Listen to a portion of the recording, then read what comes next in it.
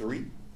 1993, which is the National Criminal Instant Background Check. The federal government regulated any individual that's going to purchase an assault weapon or a handgun, the manufacturer or the uh, distributor would have to run them through the federal database to see if they're a wanted criminal or whether they had psychiatric issues or things like that. That would prevent them from buying that weapon. Again, that's only for handguns and assault weapons. The Gun Control Act of 1968. This controls interstate commerce. That means any trading of weapons, manufacturing of weapons inside the United States across state lines and also across its international borders.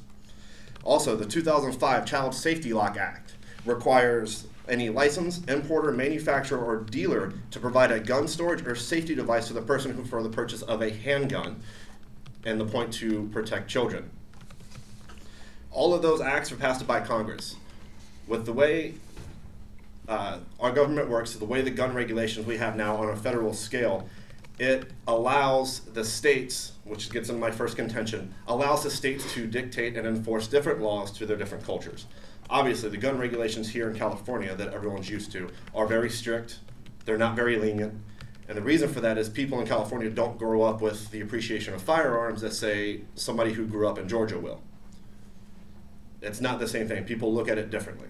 Just like you go to a different part of the world, everyone looks at everything differently. So, with the way our federal regu- regulations are written, it allows the states to dictate their area, which is what makes everything safer. Also, when they're talking about, uh, I will agree that they say assault weapons are used in a little bit of mass shootings, but they're not banned. So, why are they saying that they're banned? Again, that ended in 2004. They also spoke about that shotguns and handguns are not a viable alternative for self defense.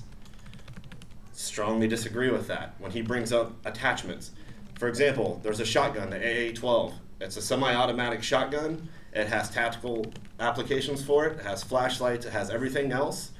Plus, it has a 100 round 12 gauge shotgun drum, which is going to do a whole lot more than a 30 round magazine in a 5.56. The 223 caliber that he spoke about is one of the smaller caliber rounds. The 7.62 he spoke about is a 308.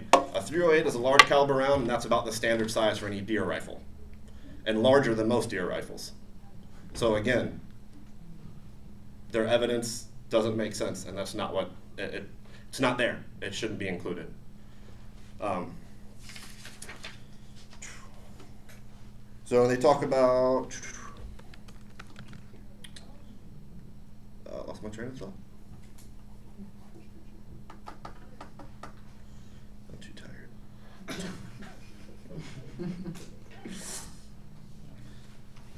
Uh, so again, uh, it's the Aff has no plan. Um, they, they did speak about uh, making assault rifles more available and coming out with different regulations that other people will be able to buy them. The status quo already does that. It's already in effect, so they have no plan. They had no harms, which means there is no solvency. So, I'm then um, I'm here and still uphold the status quo is is what it is, and it's there's nothing that's going to replace it right now.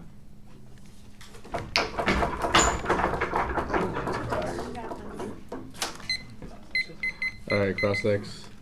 Two minutes.